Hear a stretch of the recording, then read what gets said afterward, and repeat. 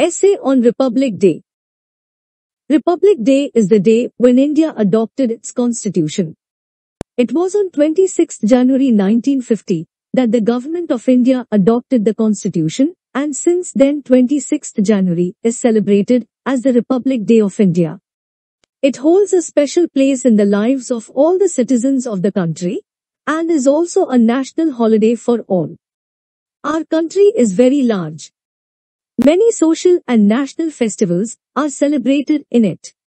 Social leave people celebrate according to their faith and belief, but all the people of the country celebrate national festivals together with full enthusiasm and gaiety. Republic Day is one such festival, which is celebrated every year on 26th January. Our country became independent on 15th August 1947.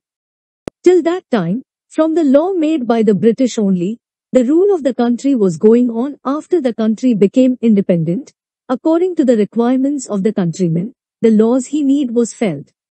A constituent assembly was formed for this, which worked tirelessly for nearly two years. Diligently created the Constitution of India. In this constitution, India was declared a republic, and the public was given the right to choose their own government through adult suffrage. This constitution implemented on 26 January 1950. Since then, we have been celebrating 26 January as Republic Day. On 26 January itself, there was a special historical reason behind the implementation of the constitution. In the country before independence Congress was the only national party behind which most of the people of the country stood.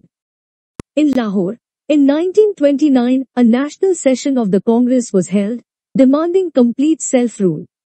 Congress on 26 January 1930 celebrated Swarajya Day. Determined to implement the Constitution of India on 26 January in memory of this day was done. Thus this great day was celebrated as Republic Day of India. Republic Day with great fanfare across the country is celebrated.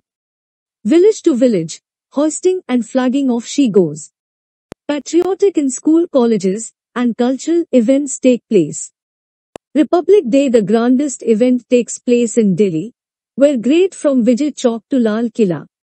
The parade is taken out. All three in this parade. Contingents and tableau is included. Gallantry Award in parade brave children rides out on elephants. The president of the country takes the salute of this parade.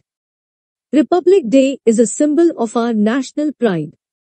By celebrating this festival, we can show our love for the country and reveal the duty. On this day we remember our rights and duties.